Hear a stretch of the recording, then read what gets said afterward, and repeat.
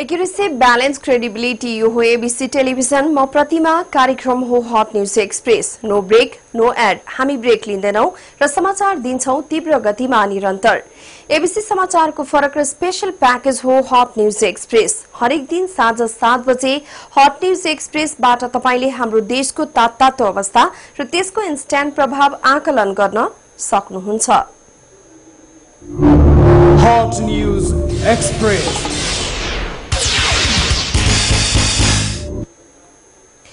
शुरू गरौं हट न्यूजबाट संविधान सभा बैठकमा बोल्ने अधिकांश सभासदले संविधान निर्माण कार्यलाई तोकिएकै अवधिमा पूरा गर्नेतर्फ सबै गम्भीर हुनुपर्ने धारणा राखेका छन्।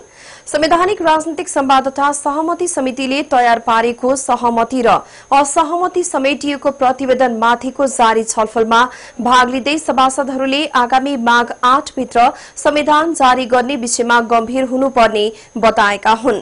केही सभासदले सहमतिका विषयमा नाममा संविधान सभा बाहिर कुनै पनि समिति गठन गर्न नहुने धारणा राखेका थिए। छलफलमा भाग लिँदै नेपाली कंग्रेसका सभासद रमेश लेखकले संविधान सभा भन्दा बाहिर संविधानका विषयमा छलफल गर्नु राम्रो नभएको बताउनुभयो। सबै विवादित विषयलाई संविधान सभाभित्रैबाट हल गरिनुपर्ने वहाँको भनाई थियो। नेकपा एमालेका सभासद गेवालीले अहिलेसम्मको छलफलमा एकल जातीय पहिचान वा साझा पहिचानका आधारमा संहितामा जाने विषयमा विवाद रहेको बताउनुभयो।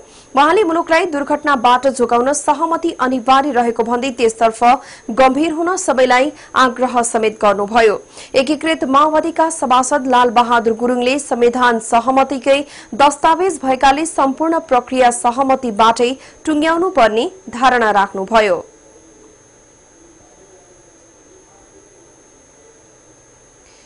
प्रतिपक्षी दलहरूको विरोधका कारण व्यवस्थापिका संसदको बैठक आज पनि अवरुद्ध भएको छ। विगतमा भएको सहमति कार्यान्वयनमा सरकार उदासीन भएको भन्दै प्रतिपक्षी दलहरूले आज सातौं पटक संसद बैठक अवरुद्ध पारेका हुन्। संसद बैठक अवरुद्ध गर्नुअघि प्रतिपक्षी दलका तर्फबाट बोल्दै तराई मध्य सद्भावना पार्टीका सभासद महेन्द्र राय यादवले यथास्थितिवादी शक्तिहरूका कारण महत्वपूर्ण कार्य अनिश्चिततातिर धकेलिँदै गएको बताउनुभयो। वहाँले अहिले बिस्तारै संहिता विरोधी आवाजहरू पनि आइरहेको भन्दै अधिकार र पहिचानका लागि आफूहरूको संघर्ष जारी रहने बताउनुभयो। उच्च स्तरीय राजनीतिक संयन्त्र तत्काल गठन गर्नुपर्ने वहाँको भनाई थियो। प्रतिपक्षी दलले निरन्तर संसदको बैठक अवरुद्ध गरेको विषयलाई अघिल्लो बैठकहरूमा सभामुखले निरन्तर ध्यानकर्षण गराउँदै आउनु भएको भए पनि संसद खुलाउने विषयमा विशेष पहल भने हुन सकेको छैन। एकीकृत माओवादीका उपाध्यक्ष पुष्ट बहादुर बोगटीको स्वास्थ्यमा सुधार नआएपछि पार्टी अध्यक्ष एवं निकटस्थ मित्र प्रचण्ड चिन्तित हुनु भएको छ। बोगटीलाई अस्पताल अघिदेखि नै लगातार हेरचाह गर्न समेत अस्पताल गइरहनु भएका अध्यक्ष प्रचण्ड दम्पतिले आज पनि नर्विक अस्पताल पुगेर पछिल्लो स्थितिको जानकारी लिनु भएको छ। अस्पताल पुगेर अध्यक्ष प्रचण्डले बोगटीलाई धेरै पटक छाम्नुभयो चलाउनु भयो र अनुहार मलिन बनाउनु भएको बोगटीको उपचारमा संलग्न चिकित्सकले जानकारी दिएका छन्। बोगटीलाई नर्विक अस्पताल लगिएपछि नै प्रचण्ड अधिक तनावमा परेको उहाँको सचिवालयले जनाए। जनाएको छ। बोगटी प्रचण्डका दुई हजार बयालिस सालदेखिका अविच्छिन्न र बिना उतार चढावका मित्र तथा भरपर्दा सहयोगी हुनुहुन्छ। वहाँको स्वास्थ्यमा कुनै सुधार नआएपछि एकीकृत माओवादीको शीर्ष नेतृत्व र उपचारमा संलग्न चिकित्सक बीच थप उपचारका विषयमा लगातार छलफल भइरहेको छ। वरिष्ठ स्नायुरोग विशेषज्ञ वसन्त पन्त मस्तिष्क रोग विशेषज्ञ पंकज जालान यादवदेव भट्ट लगायतको टोलीसँग प्रचण्डले छलफल गर्नुभएको थियो। आज पनि नर्विक अस्पताल परिसरमा माओवादी नेता तथा कार्यकर्ताहरू बोगटीको स्वास्थ्य अवस्था बुझ्न भेला भएका छन्। बोगटीको उपचारमा संलग्न चिकित्सक भट्टका अनुसार मस्तिष्क घात र हृदयघात एकै पटक भएका कारण स्थिति गम्भीर रहेकाले मस्तिष्कको शल्यक्रिया गर्न जटिल छ। हृदयघातमा सुधार आए पनि मस्तिष्क घातका कारण बोगटीको अवस्था गम्भीर देखिएको वहाँको भनाइ छ। मस्तिष्कको बायाँ भागमा रगत जमेका कारण पक्षघातको अवस्थामा पुगेको बताइएको छ। बिहिबार रात हृदयघात भएपछि उहाँलाई बाँसबारी स्थित शहीद गंगालाल अस्पतालमा भर्ना गरिएको थियो। शुक्रबारै थप उपचारका लागि उहाँलाई थापाथली स्थित नवरेक अस्पताल सारिएको थियो। यसैबीच प्रधानमन्त्री सुशील कोइराला पनि नर्विक अस्पताल पुगेर एकीकृत माओवादीका उपाध्यक्ष पोस्ट बहादुर बोगटीको शीघ्र स्वास्थ्य लाभको कामना गरी उहाँको स्वास्थ्य स्थितिको जानकारी लिनु भएको छ। प्रधानमन्त्री कोइरालाले नेता बोगटीको उपचारमा संलग्न चिकित्सकहरूसँग उहाँको स्वास्थ्य अवस्थाका बारेमा जानकारी लिनु भएको थियो। प्रधानमन्त्रीले उहाँको स्वास्थ्य उपचारमा कुनै कमजोरी हुन नदिन पनि निर्देशन दिनुभएको छ। उपचारमा संलग्न चिकित्सकहरूले नेता बोगटीलाई तत्काल बाहिर लैजाने अवस्था नरहेको र यहाँ हरसम्भव उपाय अवलम्बन गरिएको जानकारी दिएका थिए। प्रधानमन्त्री कोइरालाले उहाँका स्वजनहरूलाई उहाँको उपचारमा सरकारले हरसम्भव उपाय अपनाउन सक्दो सहयोग गर्ने आश्वासन पनि दिनुभएको छ। यसैबीच एकीकृत नेकपा माओवादी अध्यक्ष प्रचण्डले उपाध्यक्ष बोगटीको स्वास्थ्य अवस्था गम्भीर रहेको बताउनु भएको छ। नर्विक अस्पताल परिसरमा संचारकर्मीसँग कुराकानी गर्दै अध्यक्ष प्रचण्डले बोगटीको रक्त संचार र मुटुको धड्कनमा सामान्य सुधार आए पनि स्वास्थ्य अवस्था गम्भीर भएको बताउनुभयो। नेता बोगटीलाई भेट्न एमाले अध्यक्ष केपी शर्मा ओली पनि नर्विक अस्पताल पुग्नु भएको थियो। बालबालिकाको अधिकारबारे सचेतनामूलक कार्यक्रम गरी आज देशभर बाल दिवस मनाइएको छ। नेपालले सन् उन्नाइस सय नब्बेमा बाल अधिकार महासन्धिमा हस्ताक्षर गरेको दिनको सम्झनामा यो दिवस मनाउन थालिएको हो। यसैकै भदौ चार गति मनाइने बाल दिवस दुई हजार बैसठी त्रिसठीको जनआन्दोलनपछि भदौ उन्तिसमा मनाउन थालिएको हो। बालबालिकाको कुरा सुनौ बाल दुर्व्यवहार अन्त्य गरौं भने नारा सहित महिला तथा बाल बालिका मन्त्रालय र बाल अधिकारका क्षेत्रमा क्रियाशील सरकारी तथा गैर सरकारी संघ संस्थाले विविध कार्यक्रम गरी बाल दिवस मनाइरहेका छन्। अन्तरिम संविधान दुई हजार त्रिसठीले सोह्र वर्षभन्दा कम उमेरकालाई बाल बालिका भनेको छ। नेपालको कुल जनसंख्याको उनपचास प्रतिशत बाल बालिका छन्। केन्द्रीय तथ्याङ्क विभागका अनुसार नेपालमा विद्यालय जाने उमेरका चौतिस प्रतिशत भन्दा बढ़ी बाल बालिका श्रमिकका रूपमा कार्यरत छन्। उप प्रधानमन्त्री प्रकाश मानसिंहले बालबालिकामाथि दुर्व्यवहार अन्त्य गर्नका लागि सबै सरकारवाला निकायको ध्यान पुर्याउनु आवश्यक रहेको बताउनु भएको छ।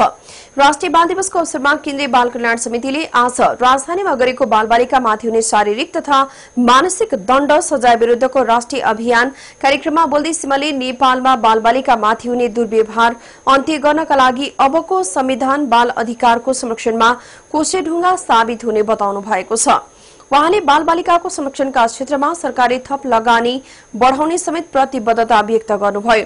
कार्यक्रममा बोल्दै केन्द्रीय बाल कल्याण समितिका अध्यक्ष डिली राम गिरीले बाल संरक्षणका लागि तय गरिएका नाराहरू केवल नारामा मात्रै सीमित हुने गरेको बताउनुभयो। द्वन्द पीड़ित बाल बालिकालाई छुट्याएको रकम अन्य शीर्षकमा खर्च हुने गरेको बताउँदै उहाँले बालबालिकाको नाममा भइरहेका गलत गतिविधि बिस्तारै समाप्त हुँदै जाने बताउनुभयो। देशभरि रहेका बालबालिकाको क्षेत्रमा काम गर्ने संस्थाको अनुगमनलाई पनि तीव्रता दिइने गिरीले बताउनुभयो। कार्यक्रममा बाल बालिकालाई डर बल र करले होइन रहरले अनुशासित हुन सिकाऊ भन्ने नारासहित बाल बालिकामाथि हुने शारीरिक र मानसिक दण्ड सजाय विरूद्धको राष्ट्रिय अभियानको घोषणा गरिएको थियो। अब पालो हट रिपोर्टको। Hot News Express. सबैको सहभागितामा संविधान निर्माण हुनुपर्छ। त्यसैले यतिखेर संविधान सभा बाहिर रहेका राजनीतिक दलहरूलाई संविधान निर्माणका लागि सहभागी गराउने प्रयत्नहरू भइरहेका छन्। सर्वपक्षीय राजनीतिक सभाको नाममा सर्वपक्षीय राजनीतिक सभाले राजनीतिक निकास दिन सक्ला। चौतर्फी प्रश्नहरू छन्। सभाले निकास दिन नसक्ने धेरैको आशंका पनि छ।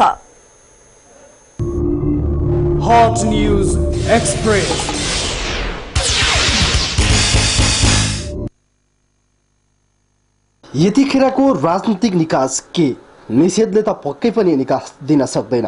त्यसैले सर्वपक्षीय राजनीतिक सभा निकासको मन्त्र बन्न सक्छ। संविधान निर्माण प्रक्रियामा सबैको समान सहभागिता आवश्यक छ।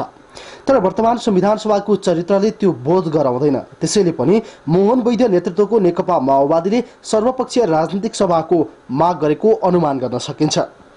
तर यतिखेर सर्वपक्षीय राजनीतिक सभालाई कम आकलन गर्न खोजिएको जस्तो कतिपयको बुझाइ छ।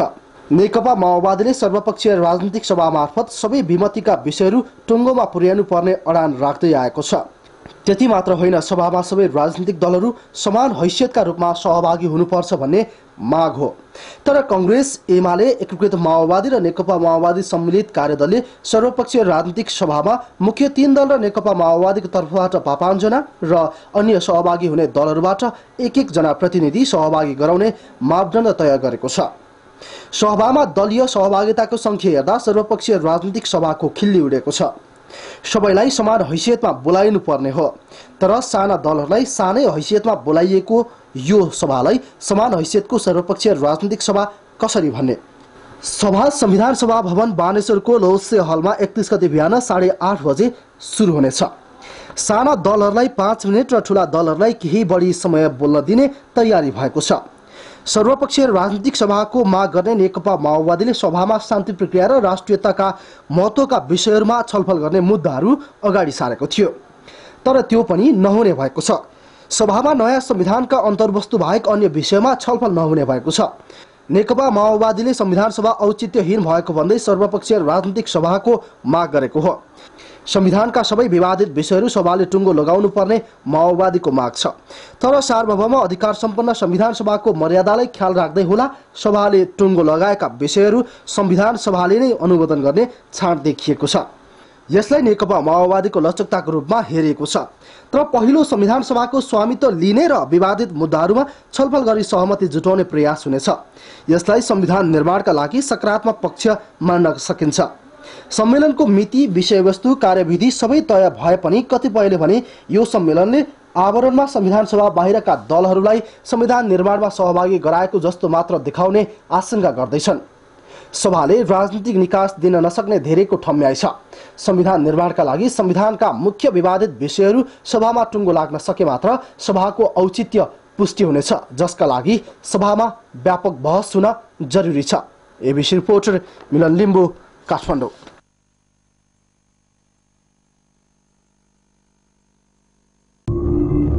Hot News Express.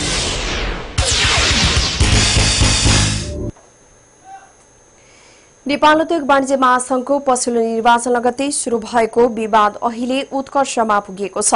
पूर्व अध्यक्षहरू महासंघ पदाधिकारीहरू र कार्यसमिति सदस्यहरू बीच महासंघका अध्यक्ष प्रदीप जङ पाण्डेलाई झण्डै चालिस वर्ष अघि लागेको मुद्दाको विषयमा मतभेद बढ़ेपछि विवाद उत्कर्षमा पुगेको हो।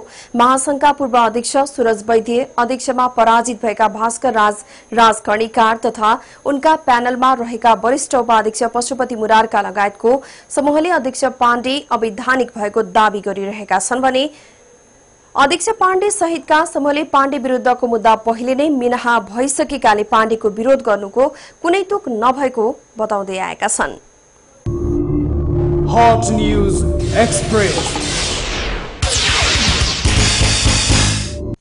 नेपाल उद्योग वाणिज्य महासंघका पदाधिकारी कार्य समिति सदस्य तथा पूर्व अध्यक्षहरू यति बेला प्रष्ट दुई खेमामा विभाजित भएका छन् महासंघको चुनाव ताका देखिएको स्पष्ट दुई गुट चुनावपछि अन्त्य भएको दावी गरे पनि महासंघका पूर्व अध्यक्ष सुरज वैद्य अध्यक्षमा पराजित भएका भास्कर राज कणिकार लगायतको समूहले अध्यक्ष पाण्डे अवैधानिक भएको भन्दै बैठक बहिष्कार गरेपछि पुरानो गुटबन्दी फेरि बल्झिएको हो।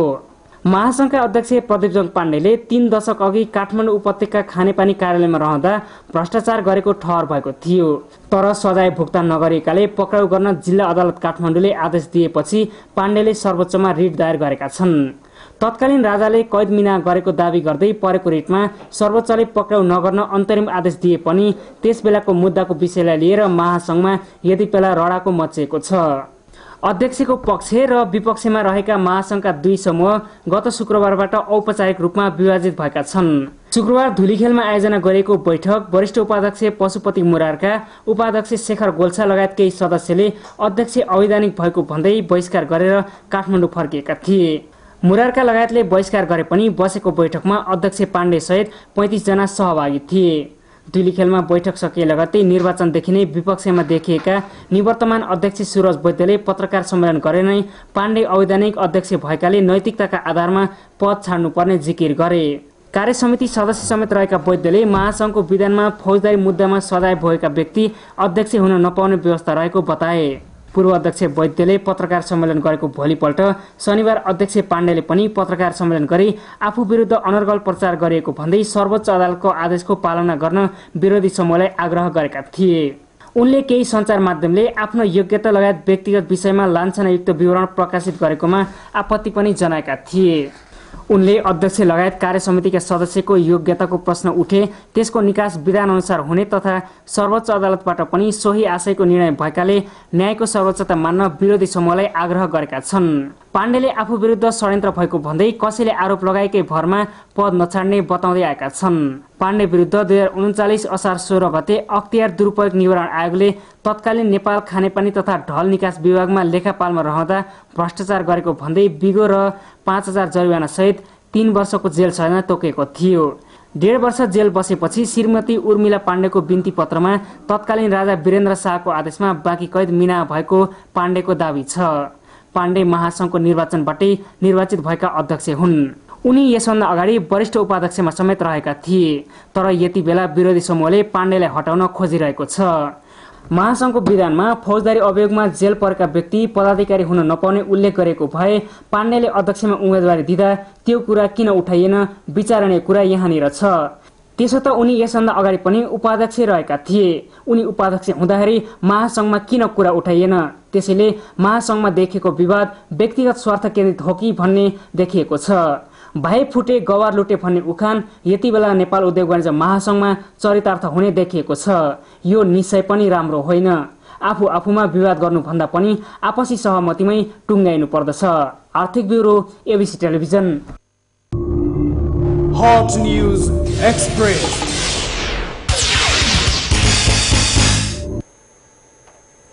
विज्ञापन रहित समाचारको स्पेशल प्याकेज हट न्यूज एक्सप्रेसमा हामी ब्रेक लिँदैनौ। समाचार मात्र दिन्छौ तीव्र गतिमा।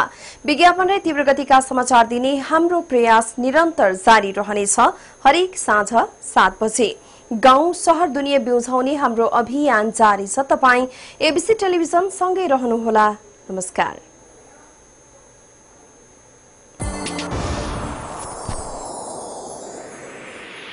Sponsored by Wilhelms Higher Secondary School and College. VS Nikitan School, aspiring for a bright future. Vivdo seriously mixed up fruits.